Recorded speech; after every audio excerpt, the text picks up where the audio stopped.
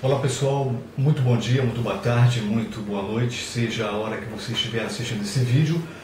Uh, eu gostaria de abordar um, um assunto que, sinceramente, até o dia de hoje não tinha me passado pela, pela mente o questionamento.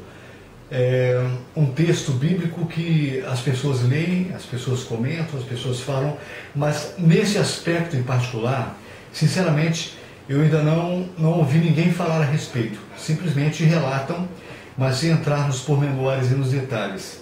Eu queria falar sobre aquele texto de Mateus, capítulo 4, quando logo após o batismo Jesus foi conduzido pelo Espírito para o deserto para ser tentado pelo diabo. E eu gostaria de falar sobre o contexto dessa tentação.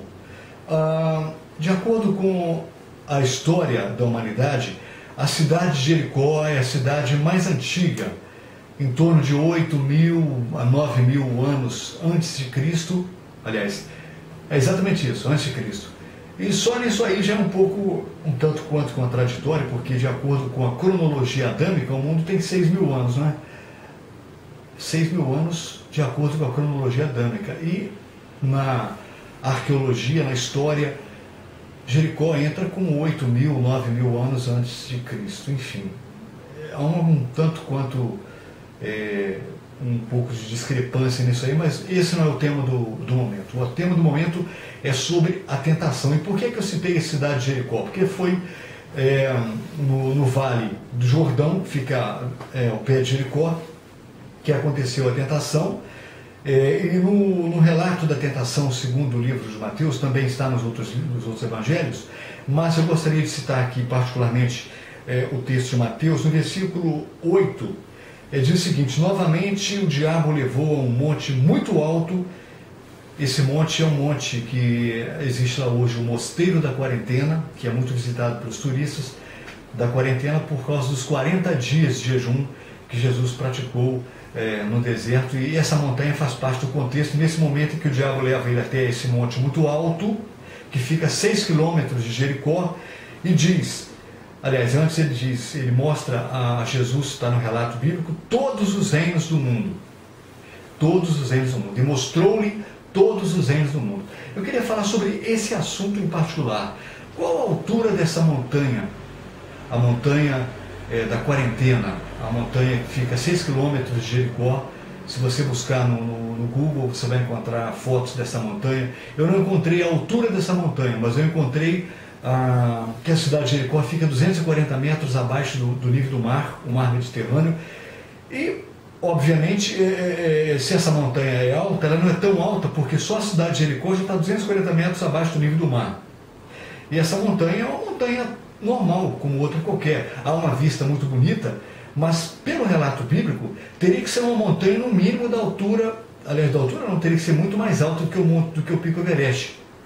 Teria que ser muito mais alta do que o Pico Everest, que é em torno de 8 mil metros de altura, se não me engano.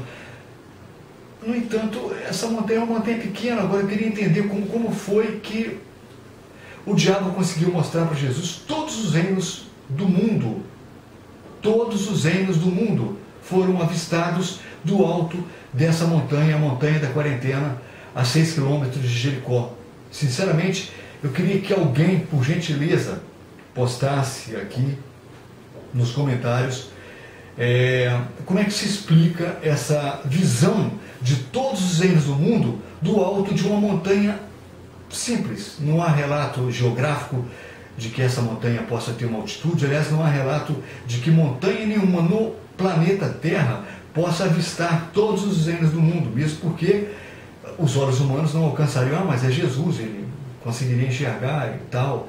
Sinceramente, teria que ser com um telescópio, com uma luneta muito potente e teria que ser uma montanha bem mais alta do que o pico do Monte Everest para que você enxergasse todos os reinos do mundo. Eu não estou duvidando, mas eu estou só reafirmando que a Bíblia realmente é um livro que necessita de muita fé para ser lido e compreendido, porque se você não lê com fé, você não vai conseguir entender absolutamente nada. Dentro da fé bíblica, o relato é muito claro, que do alto dessa montanha, bem próxima de Jericó, que fica 240 metros abaixo do nível do mar, foi possível enxergar todos os reinos do mundo.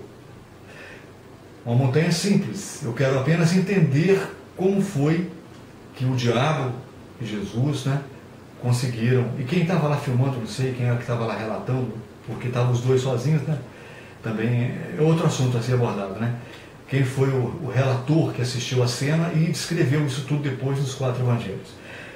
Esse é outro assunto a ser abordado. Né? Para já, se alguém, por gentileza, puder me informar é, como foi possível isso, por gentileza, me presta essa gentileza. Um abraço grande para você e até a próxima.